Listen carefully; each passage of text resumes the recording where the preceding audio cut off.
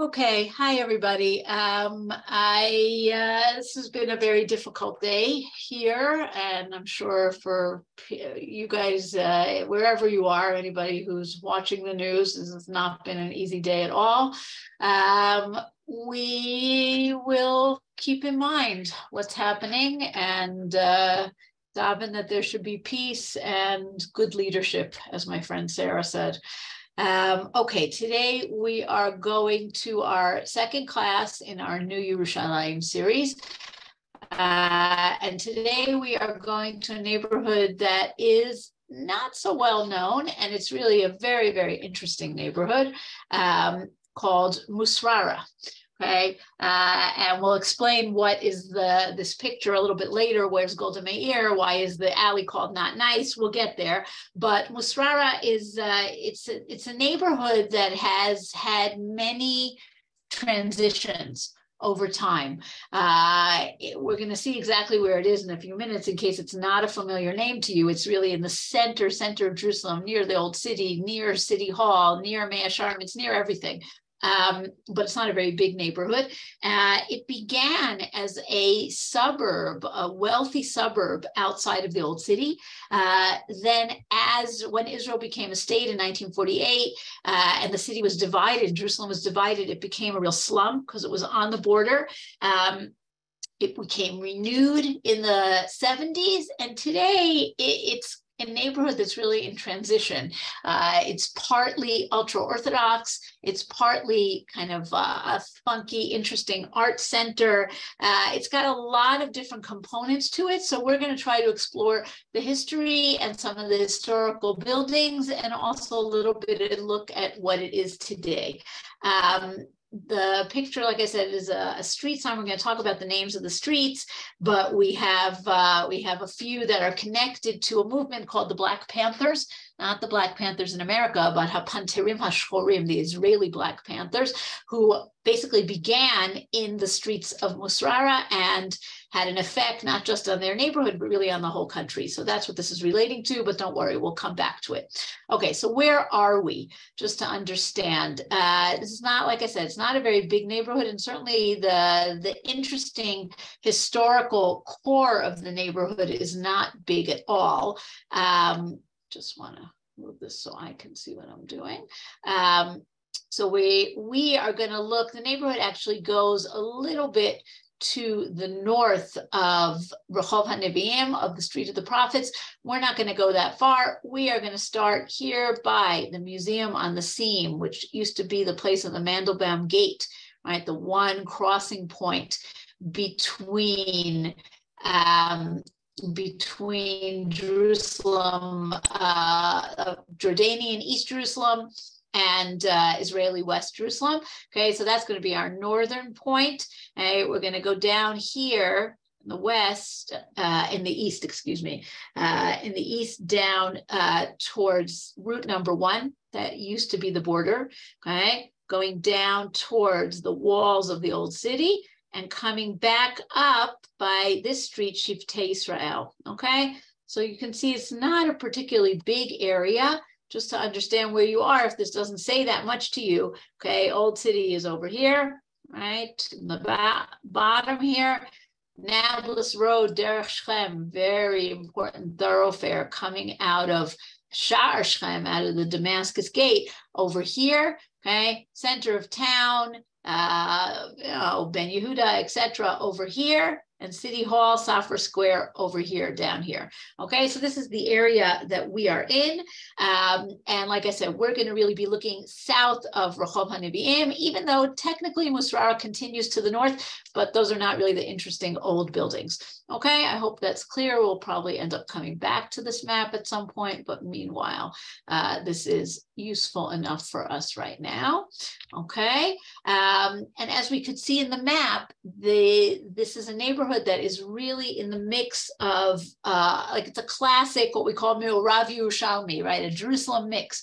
Jerusalem is an exceedingly diverse city, um, and forget about the tourists that come, just the residents. Uh, and Musrara is really on the edge of many different neighborhoods. Okay, we are very close to the Haredim of Mea Shearim. Let's just step back a minute for a minute here. Okay, if we are by Shivtei Israel and Rehov Nevi'im, Mea Shearim area is right out here. Okay, we are very close to the Arabs of the old city and of the area of Derech Shechem and Sheikh Jarrah and over here. But we're also very close to downtown, regular, boring Jewish Jerusalem, right? All those different pieces uh, are very close to Uh, and, and is going to impact on the type of people who originally moved there and who are living there today.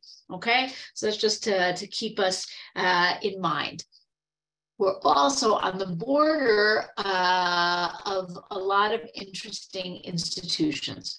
Okay, so one of them is City Hall, Safra Square. That's what you see over here on the left. This is the new City Hall that was built in the 80s. Okay, but if you've ever been to the 90s, excuse me, hey, this is uh, built in the 90s by the, the Mexican millionaire Edmond Safra. And this whole big public square was put here in order to be like a gathering place and all kinds of events didn't really work out that way. People mostly come to City Hall to pay their taxes. It's not a very beloved institution, but it's an important institution. But right next to it are the older parts of City Hall that go all the way back to the British. Okay, a lot of the older buildings that are here. Um, between 1948 and 67, which is going to be a lot of our story of Musrara, City Hall was on the border, was really on the border. And if you come to Jerusalem and you see the old building of City Hall, you can see it's pockmarked with all kinds of uh, you know, shell holes because it was on the border. It was in a place that was that was shot at, that was dangerous. Um, but between 48 and 67, Israeli Jerusalem, Jewish Jerusalem did not move City Hall. This was a, a symbolic idea that we're not moving it away from from the border because we believe that one day the city will be reunited. Uh, and today the city has been reunited and City Hall stays here.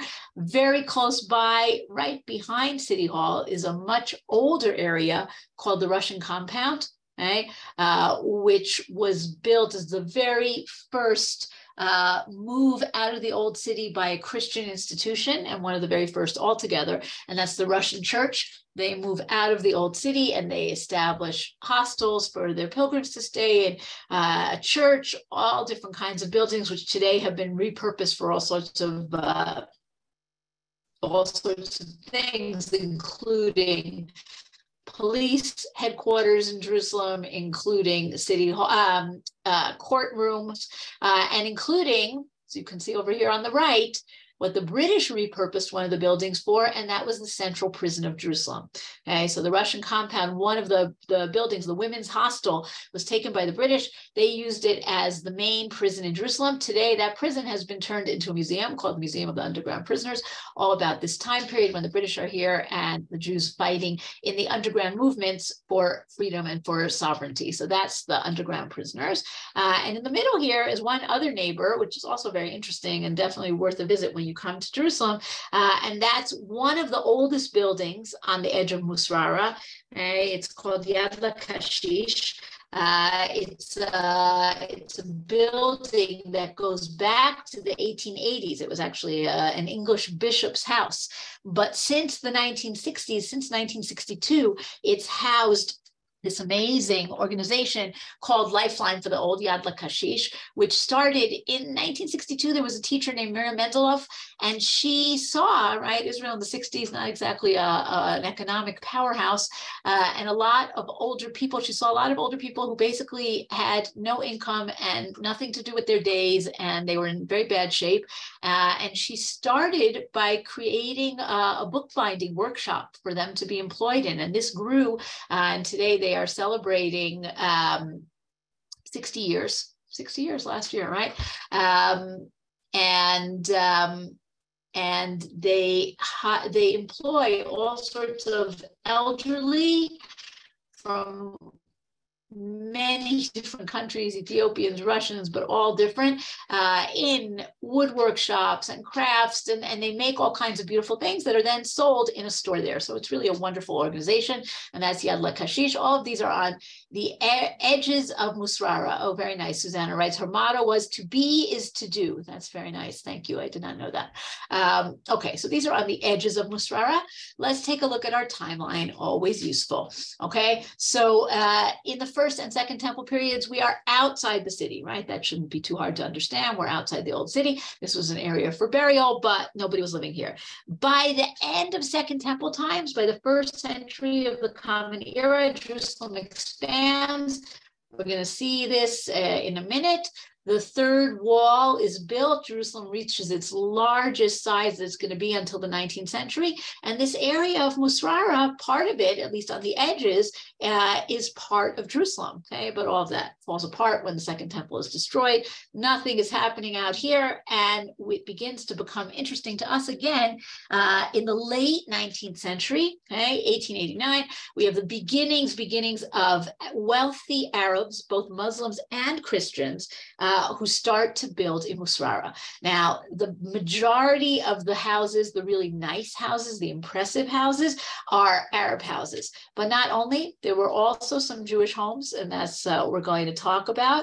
Um, and one of them is uh, somebody named Shmuel Beck, the son of Nissim Beck, who was a big builder in, in Jerusalem, built the Tiferet Israel synagogue, built a neighborhood. So he builds a house in Musrara. Okay, then we have another Jew, Shmuel Strois, who buys this house and makes it a, a hekdesh, makes it a place that is can only be used for certain purposes, right? And it's for Torah scholars we also have nuns, right? This is a very diverse neighborhood. 1905, uh, an order called the Salesian Sisters buy a property and they start to settle in Musrara, right? So by 1948, you have this very interesting neighborhood, mostly middle to upper class, right? Muslims, Christians, a few Jews, um, all of it kind of part of this booming Jerusalem that's growing outside the walls of the old city. Of course, all of that comes screeching to a halt uh, with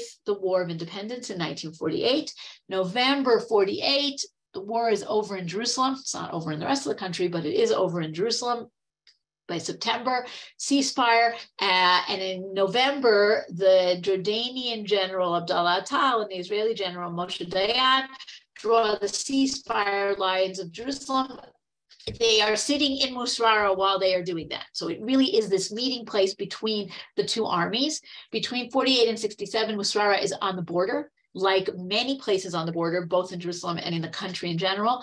A lot of new immigrants are settled slash dumped here, right? Because they have nowhere else to go and the government tells them to go here.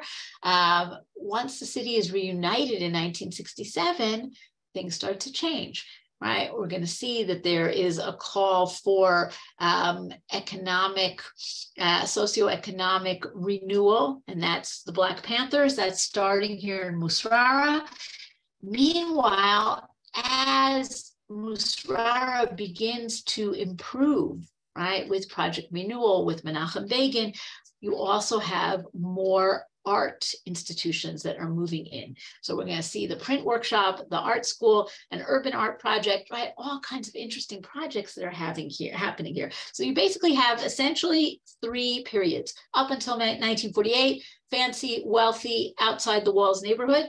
48 to mid 70s, a slum, a real slum uh, of all different kinds of immigrants. And from the late 70s till today, renewal, gentrification, but also a strong move into the neighborhood of ultra Orthodox. Because realize we're right next door to Mea Shearim, right? The ultra Orthodox neighborhoods are mostly in the north of the city. As the population expands, the reach expands as well. And so you have an ultra Orthodox group that's moved into Musrara also. Not always the friendliest combination, right? So that that's something to keep in mind as we go on. Okay. Um, yes. First, let's go back in time, right? Third wall of Second Temple Jerusalem. Um, I, have to say it's not a very impressive archaeological site, but it's probably one of my favorite archaeological sites just because it's so unlikely. Uh, if you walk along Derech Shechem, let's go back to where that is, right? If you walk along Nablus Road over here, you come very close to the end here, right, right about here, very close to where Mea Shearim is, and you come to a gas station. And in the courtyard of the gas station, literally in the courtyard of the gas station, you can see the gas station in the background here, is the third wall of Jerusalem. Okay. And the street is named after it. It's called Third Wall Street, Rehov HaChoma HaShlishit. So, you know, sometimes we take our archaeology for granted. Uh, it's a little sad, but it's just a little crazy that in the gas station we have uh, we have the third wall of the city. So where exactly were these walls? So let's go back to Second Temple times just for a moment. We are going to come back to modern times, but it's still interesting to see this, right? Josephus tells us about three walls that Jerusalem had, okay, in Second Temple times. The first one, well, it, really it's four, but Josephus doesn't tell us about four, but we'll pretend for a minute that he does. The first wall is with Shivat Zion, is when the Jews return from Babylonia and they have this very narrow city over here encompassing part of the city of David and the Temple Mount. By the time you get to the Hashmonaim, the Hasmoneans, you have Josephus's first wall. The city grows and it basically looks like the city of late First Temple times. That's the first wall. Okay. And we have remnants of this. We found pieces of it. By the end of the first century, before the Common Era, the city has expanded again. And we have something called the Second Wall, which is not so clear where exactly its boundaries are but this is how we tend to draw it, leaving outside the city the Church of the Holy Sepulchre, meaning if Jesus is really buried there, it can't be inside the city, but that's a story for another time. And by the end of Second Temple times, by the time we get to the last few decades, uh, of, uh, of the first century of the Common Era, the city has expanded yet again to the north. And this already is outside the walls of the current old city. These are the walls of the current old city, right over here. This is much further and it encompasses the area of the Russian compound and it encompasses part of the area of Mea Shearim, right? And all the way out towards Derech Shechem. And of course, our third wall, that's basically right just about over here. Okay, so that's just to give a sense of what we're talking about, but it only is part of Jerusalem at the very tail end of Second Temple times. Before that and after that, this is not, this is outside the boundaries of Jerusalem, but still interesting to know about uh, and, and to be aware of. Okay, like I said, we are going to jump ahead to the 19th century. Okay, uh, and we have building outside the walls. Now, we are familiar, and we did this in the last time we did this course, we talked about Yemin Moshe and Jewish uh, building Jewish neighborhoods outside the walls. Basically, by mid 19th century, the old city has become way too overcrowded, uh, and each group, each religious group decides that they are going to move outside the walls but each one is doing so for a very different reason. Okay, the Jews is the one that we are the most familiar with, that that we know the story of. The Jews leave the walls because there's no space. There's physically no space. You have more immigration. You have uh, a better, uh, you know, better uh, life expectancy. Babies aren't dying as much. People are living a little bit longer, and you just don't have space for all these people inside the walls. And so the Jews overcome their fear of being outside the protective walls. They move out first to Mishkenot Sha'ananim, and then they start building neighborhood after neighborhood after neighborhood, residential neighborhoods. Okay. Christians different story christian institutions okay? Christian institutions with ties to europe the russians the french the british the germans. Everybody wants to have a foothold in the holy city. Everybody knows that the ottoman empire is about to fall apart. They all want to build something right? So they buy a plot of land and they build hostels for their pilgrims and they build churches and they build hospitals right? And that's where we get the russian compound and the english hospital uh, and the italian hospital and many many more the third group are Arabs, okay? Muslims, but also some Christians, but not Europeans, ones who live in the country. In many cases, families that have been in Jerusalem for centuries upon centuries, right? The Nashashibis, the Husseinis, the Dajanis. And they say, we don't want to live in that crowded, dirty, ugly old city we want to move outside, but we're not building residential neighborhoods. We're not building institutions. Rather, the families are building beautiful big family compounds. And we have this in places like Sheikh Jarrah, and we have this in places like Derech Shechem, and we have it here in Musrara. Christian Arabs, Muslim Arabs who say, I want to build myself a nice house for my family. And that's the most beautiful old houses in Musrara. That, that's what they are, right? They are these Arab families middle and upper class families who build in the style that is called a liwan a courtyard in the front, rooms all around the side, right? It's a very traditional Arab style, usually large multi-generational uh, families, okay? And this is one of, the, these are two buildings that are connected by an outside bridge that are still existing today on Rehov Daniel uh, in, um, in Musrara. And this is uh, an old house. Now, these houses were built for families what happened eventually is that in the 50s, when you're shoving all these new immigrants here, you're taking these one family, okay, maybe a multi generational family, but still a one family house, and you're subdividing it up into little tiny sections and, and sticking all these new immigrants inside in barely livable conditions. But that's we haven't gotten to that stage yet. Okay, the picture on the right here is uh, a view to the old city from Musrara in the 1930s. Obviously, much more has been built up, but the truth is, Musrara is on a hill. Musrara actually means uh, charming in Arabic, full of charm.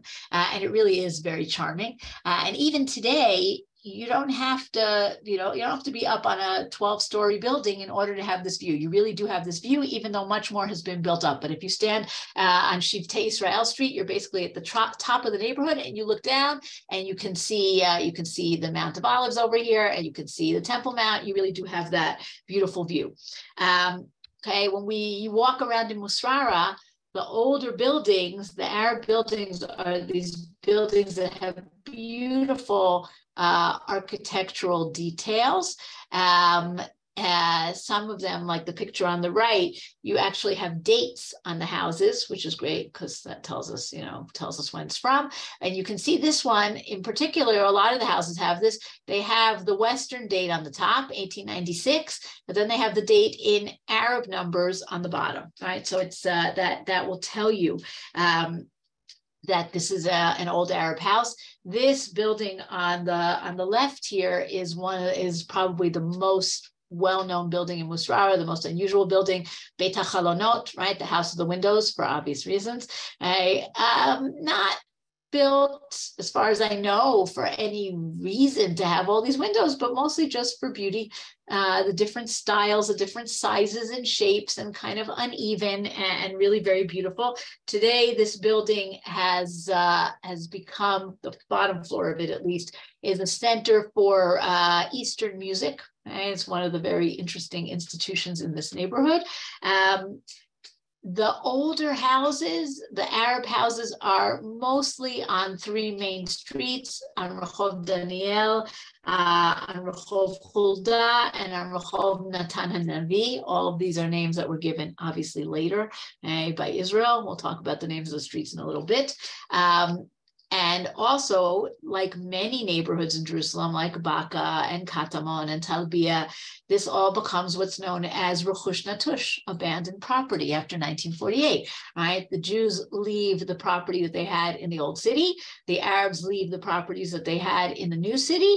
Um, and this all kind of comes under the control of the state. Right? You also have the same idea in the German colony where all the German Templars left. So there's a there's a very big real estate uh, uh, confusion that's going on uh, in the early years of the state.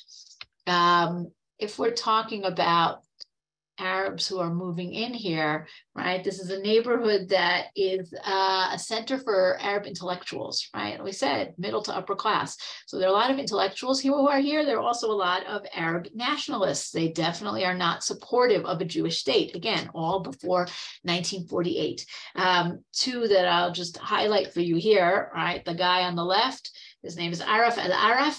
Um, he was born in 1891. He died in 1973. He was a journalist. He was a historian. He was a politician, but he wasn't exactly an intellectual who sat in the library all day. Uh, he incited uh, to the Arab riots of 1920. Um, and you can see here how he's dressed with his uh, with his sword. Um, he flees from the British because the British, of course, do not you know like the idea that there's incitement to riots. But when he comes back, uh, the British do something that they do a number of times, and that's in the hope of moderating these very radical nationalists, they appoint them to official positions, right? They did the most famous person they did that with is Hajj Amin al Husseini, the Mufti of Jerusalem. Uh, he, he's appointed to be the religious leader of Jerusalem in the hopes that this will kind of temper his radicalism. It went the exact opposite direction. Same thing here. Aref al-Aref is appointed to be the ruler of Beersheba. It does not make him any less radical. Uh, in the 1950s, he's the mayor of Jordanian East Jerusalem. So he's our figure here on the left. On the right uh, is a doctor, Dr. Tawfiq Canaan, and he's born in 1882. Uh, he's a Christian. He's a doctor. He's an ethnographer. He studies Christian uh, amulets. He's an Arab nationalist, but he's also a very important doctor. He directs the leper uh, hospital in Hansen House. He directs the Deaconess Hospital. He's the head of the Palestinian Arab Medical Association. So you get a sense of these are people who are smart, who are educated, and who are very strong Arab nationalists. And that's what the neighborhood looks like largely, but not only. We also have some Jewish families.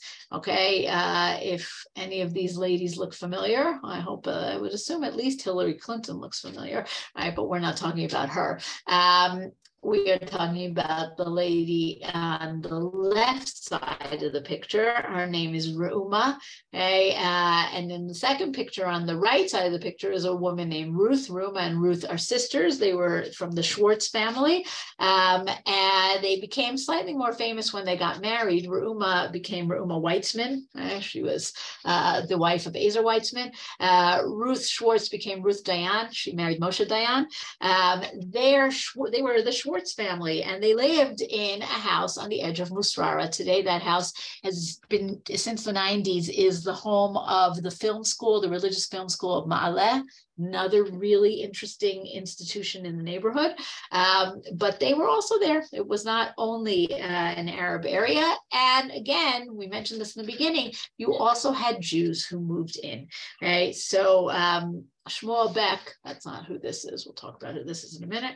Hey, Shmuel Beck was the son of someone named Nissen Beck. Nissen Beck was um, a Jew, an Ashkenazi Jew, came from Tzfat to Jerusalem, uh, very involved in building up Jerusalem. The most famous thing that he built is the Tiferet Israel Synagogue. Uh, it is one of the big, beautiful synagogues in the Jewish quarter that was destroyed by the Jordanians in 1948, along with the Churva. Just as the Churva has been rebuilt, the Tiferet Israel is now in the process of being rebuilt. It's, it's getting close to being finished. Um, Shmuel Beck is Nissen's son, okay? and he builds a house here in Musrara. Uh, and it's bought by another good Jew named Shmuel Strois. And Shmuel Strois says, I'm buying this house, but I'm not buying it for myself. I'm buying it as what's called a hekdesh, right? It's going to be kodesh, right? It's going to be set aside uh, to be used as a Beit Midrash and a home for Torah scholars. That, that's what he wants it to be used for. He doesn't want it to be used for any secular purposes. So he basically provides rent-free housing for Torah scholars. Uh, one of them, probably the most famous one, who lives in this house is this gentleman over here, whose name is Rav Tzvi Pesach Frank. Mayor Rav Tzvi Pesach Frank.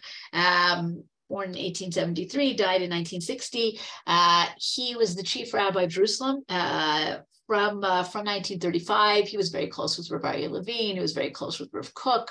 Uh, very very important figure. He's uh, involved in freeing chained women, agunot. He very much wanted to have one unified community, one Beit Din for everybody. Uh, religious, not religious, Ashkenazi inspired him. Obviously, these things did not work so out so well, but that was his vision. Um, and uh, and he lived in this house for a while. Um, okay, let's talk for a minute about um, yeah, someone talking. Okay, let's talk for a minute. About, that was Maskit. Yes, that was Maskit. The picture over here. Let's go back for a second.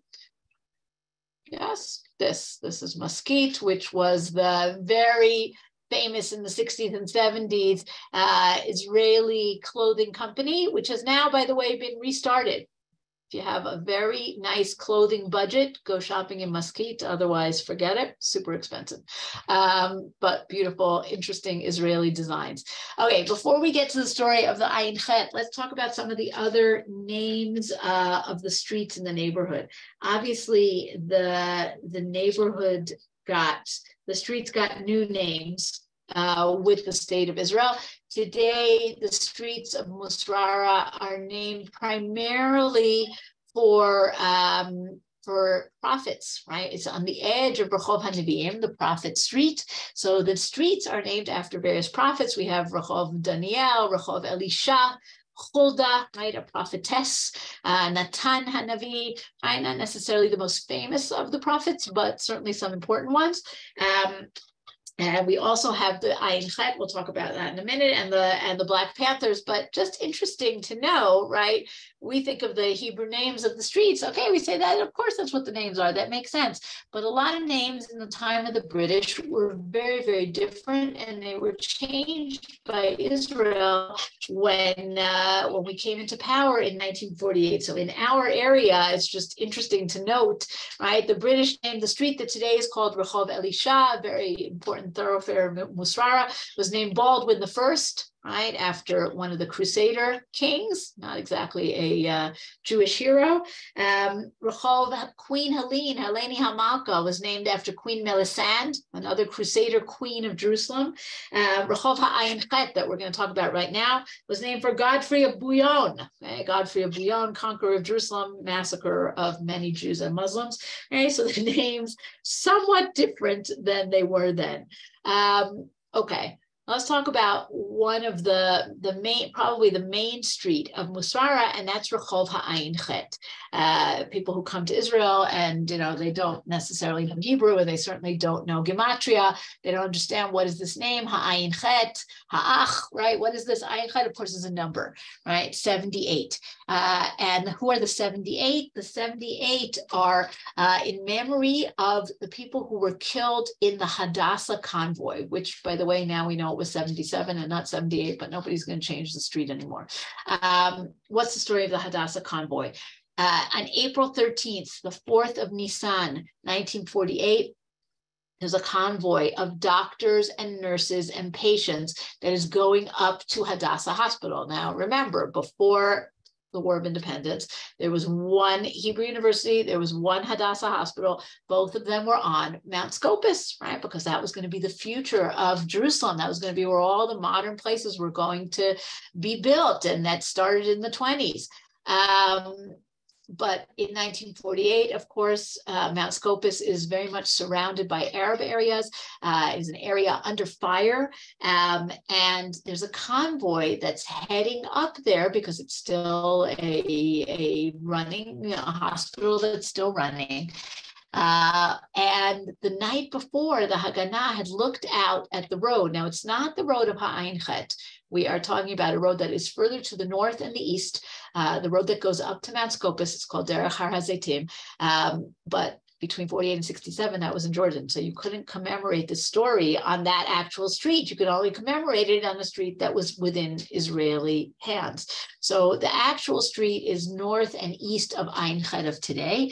Um, Haganah members who were doing lookouts, right? They noticed that it's kind of suspicious. There were a lot of sandbags on the roofs. In the morning, as the convoy was about to set out, they saw that the street was very eerily quiet. They, they, they were uneasy about the whole story, but the British said, no, no, no, everything's fine, don't worry.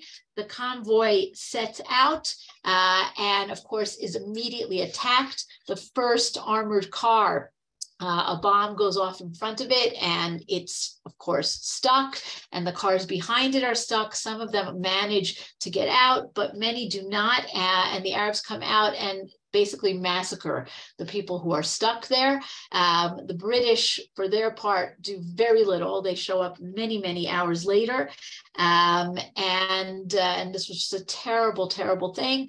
Uh, it happened in the wake of the attack, the Jewish attack on the Arab village of Deir Yassin, okay, which is very disputed what happens there. But what's undisputed is that the Arabs told wild stories about Jewish massacres there, and it, it frightened the Arabs very much, and many of them started to flee. And also, this was considered a revenge attack. Uh, and part of that, by the way, is why the British don't respond because they say, oh, the Jews killed the Arabs, let the Arabs kill the Jews. It's a very, very horrific tragedy. Um, and it basically means that uh, Mount Scopus stops being used as a hospital, uh, and Hadassah has to move to all sorts of temporary quarters, and eventually a new structure is built in Ein Karim, and only after the Six Day War do we move back to the hospital that's on Mount Scopus. So we have a few memorials for this story. One is naming the street Ha'ayin Chet in Musrara. Another is um, a mass grave uh, that uh, that you can see here. And there's also a memorial on Mount Scopus. Um, and and today, now that the city has been reunited, there's also a memorial uh, in the actual place of where this happened.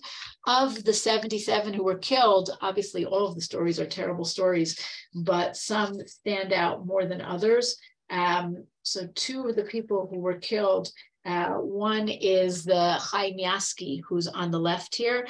Uh, Chaim Yassky was the head of Har HaTzofim. He started his career as an eye doctor. He was very involved in creating the medical school of Hadassah. He was very important, involved in public health, did all kinds of incredible things. He was on this convoy, and he was one of the people who was killed. He was somebody who was rather famous who was killed. Somebody who was much less famous, but her story is such a powerful story is Hana Cassuto. So here in the picture on the right, you can see uh, Hana Cassuto in much happier days uh, with her husband Natan. They were Italian Jews. Um, three little children when the war, when they were caught uh, in the middle of the war in Italy, in the middle of World War II, she already has a little baby. They are separated, so they have four children. The two of them are separated. He's a rabbi and uh, works as much as he can to save his community, works with the resistance. She's separated from him. They eventually are both sent to the camp separately. They're separated from their children. Her baby dies. He dies probably on a death march. She survives. She survives, and somehow, amazingly, the three children survive. Uh, and all of them make it to Israel separately. Now, if the name Cassuto sounds a little familiar to you, okay, if you know, you know a little bit about Bible studies, about Parshanut, uh, that's because her father was Umberto Cassuto, Moshe David Cassuto, a the very great Bible scholar who had already come to Israel before. Now, she comes to Israel, the children come to Israel, they are reunited they're taken in, of course, by her father-in-law and her mother-in-law. They live at the Cassuto family, and she gets a job. She gets a job uh, working in a lab on Har Hatzofim, uh, and she's on that fateful convoy as well. So after all she had suffered and, and, surviving the war and coming to Israel, she is murdered in this convoy. Uh, her children were brought up by the grandparents, and her son is David Cassuto, who's a well-known architect and who's very involved in the Italian Jewish Museum in Jerusalem. So just two of the the 77 stories uh, of the Ein Chet. Um, also um, in the municipality, in the city council. There, he's on the city council. Oh, okay, I did not know that. Um, okay, when the war is over in Jerusalem, um, the two generals, Atal and Dayan, sit down to draw the border. Uh, and story has it that they sit down in an abandoned house in Musrara. Where is this abandoned house? That's a very good question. Nobody has really pinpointed where it was exactly, so we don't know. But we do know, and this is urban legend, but but it's not a legend. It's true that they sit down on the floor. They have this map, and basically, what do they have to do? They have to mark each of their positions so that they can draw the ceasefire lines.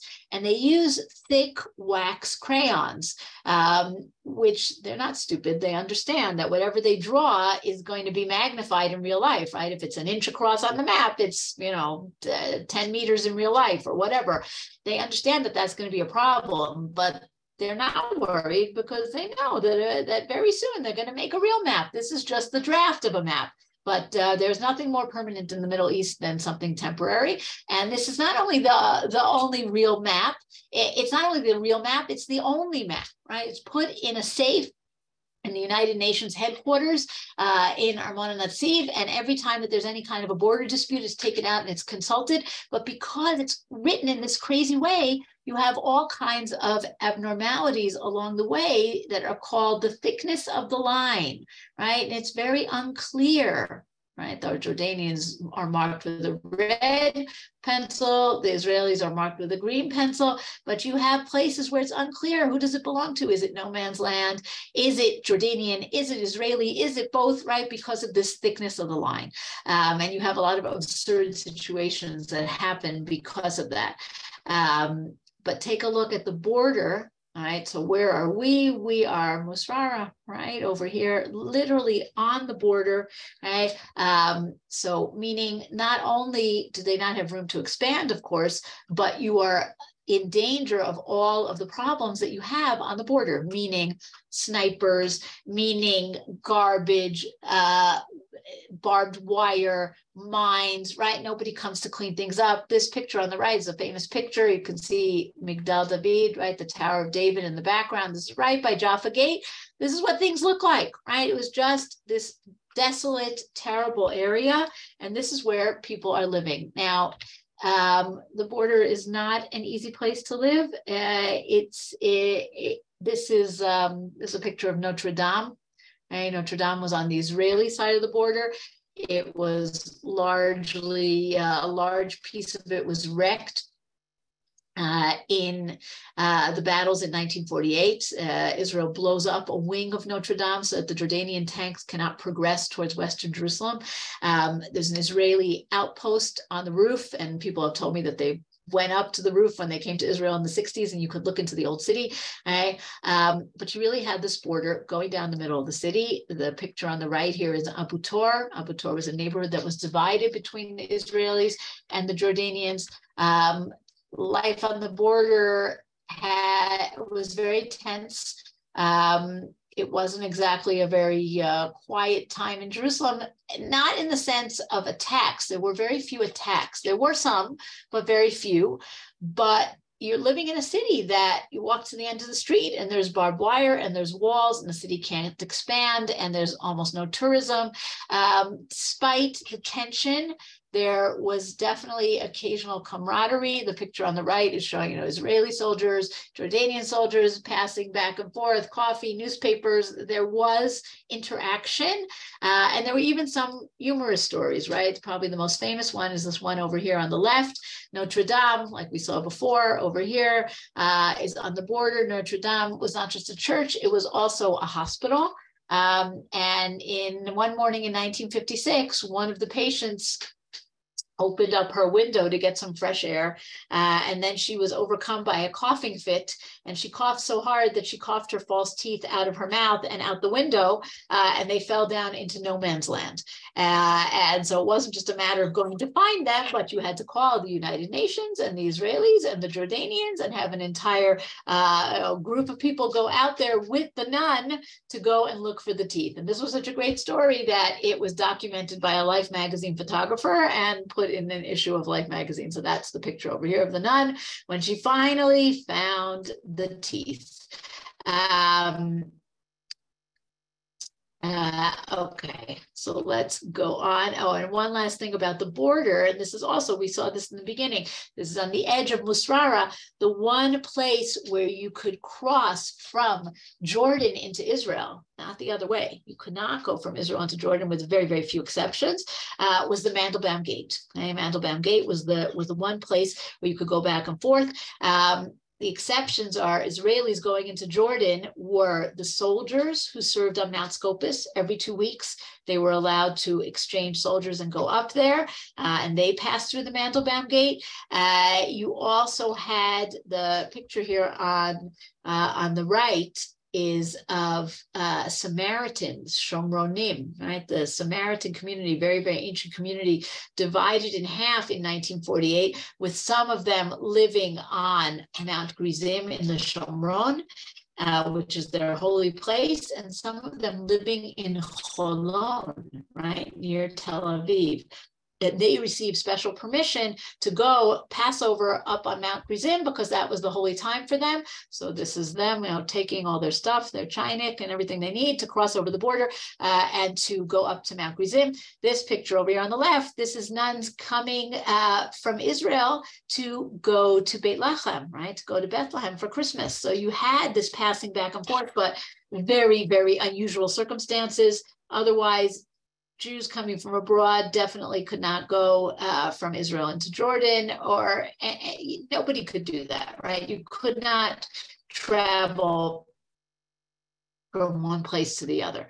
Um, today, the Mandelbaum Gate has been has disappeared. Um, it was actually destroyed very, very soon after uh, 1967. Teddy Kollek, the mayor of Jerusalem, says to destroy it. Uh, there wasn't a thought of, oh, this is a historical place. There was a thought of the cities reunited and let's just bulldoze all those things. So today, the only thing that's a, a memory of the Mandelbaum Gate uh, is uh, this sundial which you can see on route number one. Uh, and the, the Israeli outpost that was right near it was called the Turjuman Post, an old building. Um, and you can see over here on the right. Uh, for a while, it was a museum about the divided city. And like 25 years ago, they made it into this very avant garde museum on the scene. Okay, let's go back to Musrara. And, and the bullet holes too in the in the 50s and in the 60s okay? So you have what's happening in israel all over israel in the late 40s and the 50s and the 60s you have this incredible influx of new immigrants, thousands of people arriving every month. In the first five years, I've said this many times, and it's a very important fact. The first five years of Israel's history, we double our population. We go from 600,000 to 1.2 million. Where are all those people going to go?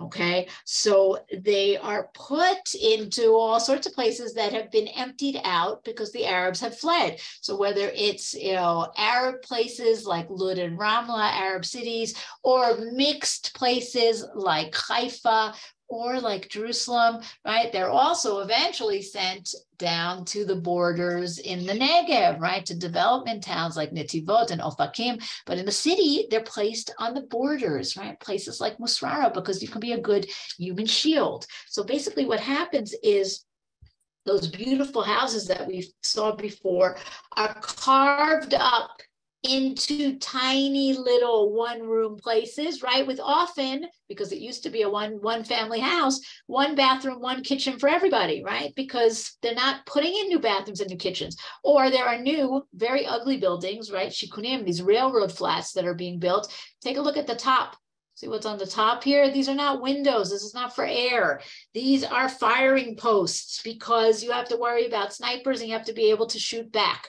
Okay, so these very uh, crowded very uh, made out of concrete, very ugly. Uh, and they are most of the families that are put here, right, who are the families that are brought here. You have people coming from North Africa, Iraqis, Persians, many of them with many children, and they're dumped in these tiny little quarters, right? And this is what's often called the second Israel, Israel Hashniya, right? All of these new immigrants who are coming. Um, and uh, they're not all created equal. So there are some immigrants who get preferential treatment and get better places to live. I'm not saying it was easy for them. It wasn't easy for anybody in Israel in the 50s. But by and large, the European Jews who came, first of all, came earlier. They came right after the Holocaust, as opposed to the Jews from Arab countries who came mostly after 48. Um, so the European Jews managed to grab hold of places that were a little bit better uh, in the cities, better located, right? There were also yesh vayesh among the Jews from Arab countries. Uh, Jews from Yemen were considered to be of a higher class. They were given better places, right? They're put in the center. Rosh Ha'ayin becomes a Yemenite town. Moroccan Jews, no, we don't like them as much. Let's dump them somewhere like Dimona or Netivot, right? Or put them on the border. So you definitely have uh, good intentions, but not always very good uh, results. Um, and by the 50s and 60s in Musrara, more than a third of the population is on welfare. The conditions, the living conditions are terrible. The schools are terrible. Most of the kids, uh, many of the kids are dropping out to work. Um, and there's a small group that decides that they are going to create a protest movement. And this is in the late 60s.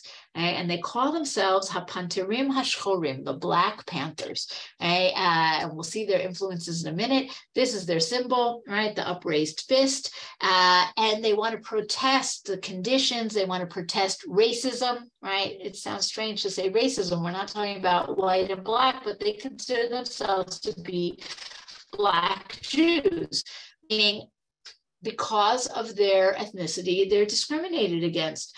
Um, they do a lot of Robin Hood kind of things. They go out and they steal milk from when the milkman puts it out outside of people's houses. They steal bread so they can feed poor families. They move into abandoned houses.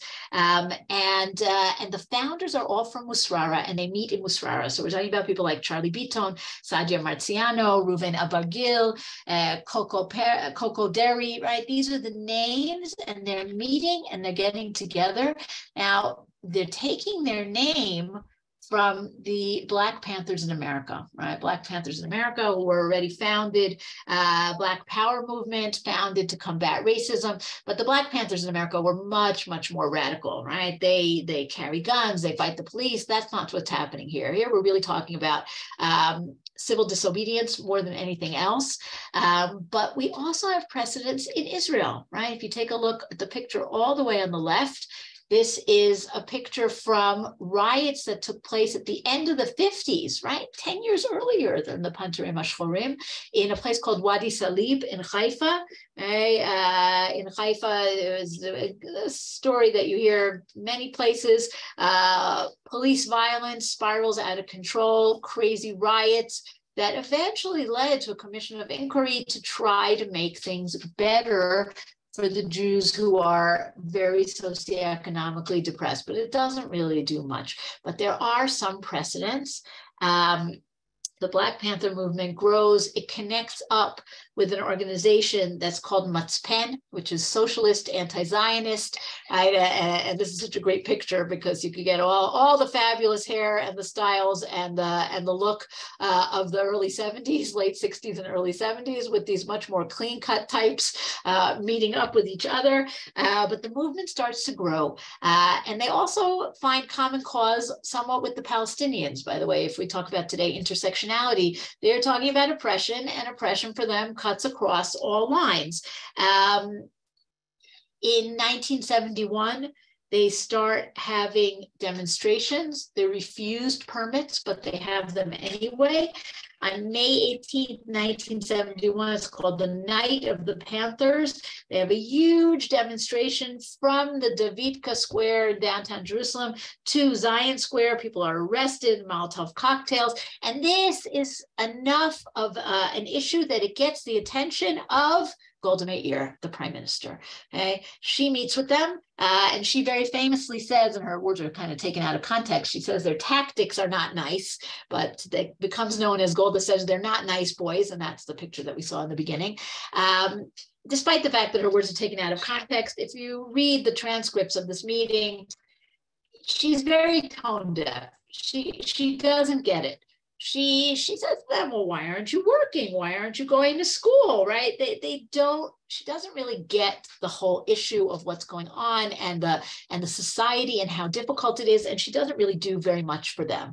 So they get a little bit of money, they get a little bit of attention, but not much happens until we have the Mahapach, right? The revolution, the major revolution, 1977 uh, Menachem Begin is elected, right? This upheaval, uh, taking apart 29 years of labor government rule. Menachem Begin is elected. Menachem Begin is the whitest of the whites, right? Look at him; he's such a Polish Jew, but um, but he has a great love and is in turn very beloved by the Mizrahi Jews. He's very connected to them. He really understands them.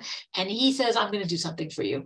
Uh, and he creates uh, an amazing project that, that's called Project Renewal that partners with the Jewish Agency and partners with UJA federations all over the world to restore houses, to put in facil- proper facilities, to make parks. This is not only in Musrara, this is all over the country. Okay? Uh, and the Panthers really win in that way, uh, that they want to make the places that they have, that they don't raise these neighborhoods, but rather they take the existing neighborhoods and they improve them in a great way.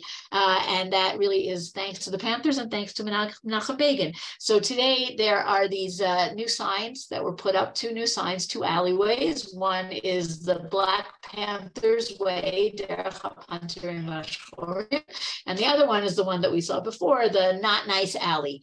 Um, and uh, one of the neighborhood projects that was done more recently, uh, 2005, is this mosaic that you see here, which is really a beautiful mosaic of all the things in the neighborhood. First of all, the different communities that the Jews are coming from here Morocco, Iraq, Turkey, Kurdistan. Okay, uh, you have all the names of the streets around. You have the Panthers, over here. Okay, so you have this, this idea that from the community giving back to the community.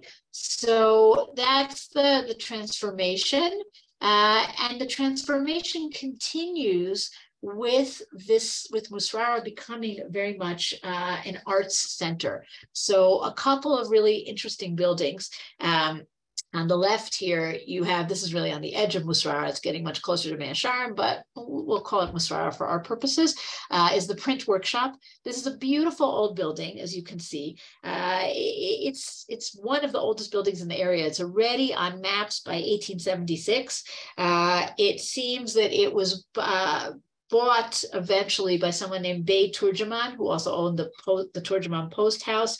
Uh, it was a tile factory. It was his home. It went through different hands probably its most colorful uh, resident was somebody named Rabbi Chaim Tzvi Paskovitz. He rented out the top floor. He was known as the Reuter Rebbe, the Red Rabbi, not because uh, he dressed like Santa Claus, but because he was a very fiery communist. Uh, and he had a shul where he would preach Torah and communism. He was one of the first uh, founders of the Israel Soviet Union Friendship Pact, right? Very unusual guy. eventually leaves. He goes to America. He's arrested as a communist. Okay, but in the 70s, this building is bought by and used by uh, something called the Sadnat HaHedpes, Jerusalem Print Workshop. Um, where they have all, use all kinds of old techniques, printing techniques. And you can go there today and you can see what they do. And they have a gallery and they have all these old machines. And it's a fascinating place. The building on the right is the, the Musrara Art School, a photography school, art school. Today it's being renovated, but it's an important building. Uh, it used to be uh, the school for the neighborhood that most of the Black Panthers went to. Um, and the other interesting story about it is that in September of 1948, um, the Israeli army tunneled under this building and tunneled all the way towards Damascus Gate and lay explosives there. After the ceasefire, they told the UN and the Jordanians about it, and they decided that they had to blow up the explosives because you can't just leave explosives. Who knows what's going to happen to them? Uh, and there was a lot of fear that it would damage the Church of the Holy Sepulchre, the Dome of the Rock. In the end, it was very, very minimal explosion that didn't bother anybody, but that was like a very big drama in 1949. Today, you have all sorts of interesting institutions in Musrara, uh, among them this place called Polis, which teaches ancient languages with modern methods, so Latin, Greek, Biblical Hebrew, Classical Arabic, right, all different kinds of things. Uh, there's the School of Middle Eastern Music, there's a photography school, there's the Ma'aleh Film School, there's arts uh, celebrations like the Musrara Mix, right? All different kinds of interesting things. Um, but there are still old timers in the neighborhood, and you have some of the older synagogues of the Yotzei Bavel, right? You have uh, interesting older synagogues. And then you have this very unusual story of the Salesian sisters. Okay, this is um, a Catholic order that was founded by someone named Don Giovanni Bosco in the 19th century in Italy. They spread all over the world and they came to Jerusalem as well. And they have three buildings here a school and a convent and a guest house. These are not the Salesian sisters in Jerusalem. This is just a picture of Salesian sisters somewhere else. Um, and uh, today it's just a, a, very eclectic, very interesting neighborhood, which has some conflicts, uh, mostly between ultra Orthodox and secular. But on the whole, it's uh, it's a very interesting island of uh, I don't know if I would say coexistence, but multi-existence in Jerusalem. All right, let's see all these comments that I ignored, and then let's see if there's anybody else. People wanted to say anything.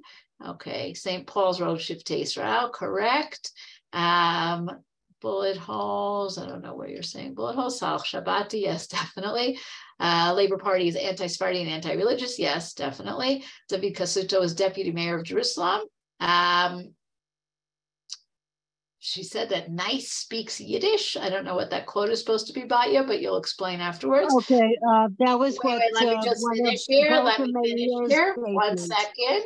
Um, the mosaic is located on Ayin Chet Street. If you walk down Ayin Chet Street towards the old city, it's actually hung in a very stupid way. It's very high up and it's hard to see, but if you look for it, you'll find it. Um, Akkadian. I don't know what it, oh, they teach Acadian. Do they teach Acadian? Maybe. Okay. Batya, you please tell us the story. All right. Golda Meir's statement had something to do with, oh, you know, like the, to be nice Jewish boys, they have to speak Yiddish. Oh. And the, um, and the, the thing was that, that Menachem Begin, because as a revisionist, he was on the outs of the elitists. Correct. And, uh, and so it, and he, he enjoyed the Sfardim. So there was a natural alliance. And that's why within um, Cherut, which was the original, his part of, of Gachal, which became the Likud, you always had a lot of, of Sfardim. Outside of the, you can't mix them up with uh, someone like uh, the Navones because they were the old uh, Spanish Sfardi and they were considered right. not the not the Edot HaMizrach. All right. Thank you, everyone. So next week, no class because uh, Purim, at least it will be Purim already here, and you'll be getting ready for Purim. Uh, and the week after that, we will be back. So thank you, everyone, and have a good, quiet, peaceful week. Thank you thank again you. for everything. Thank you. Wonderful as always. Thank you. Thank you, Shulie. Purim Sameach. Purim Sameach.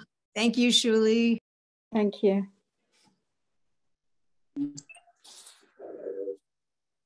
I fell asleep.